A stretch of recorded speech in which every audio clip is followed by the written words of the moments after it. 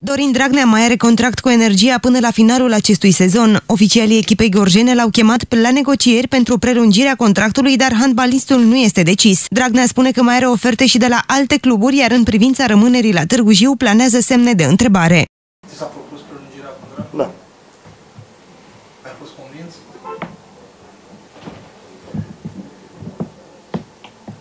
Da și nu. Mai ai și alte oferte Da, mai există și alte oferte. din țară? Din țară. Sunt șansele să rămâi. 50-50? Cam așa. Dragnea spune că partea financiară și locul pe care îl va ocupa echipa gorjeană la finalul sezonului vor fi factori de decizie. Andrie și-a dat de înțeles că handbalistul este dorit la Târgu Jiu în continuare. Mai mulți factori și partea financiară și depinde și ce loc o să, o să ocupăm. Și domn profesor, dacă vrea să, fiu, să mai fiu alături de dânsă. Dacă te-a chemat la negocieri. Momentan însă Dragnea recunoaște că nu a luat nicio decizie. Nu am nicio decizie deocamdată. N-am...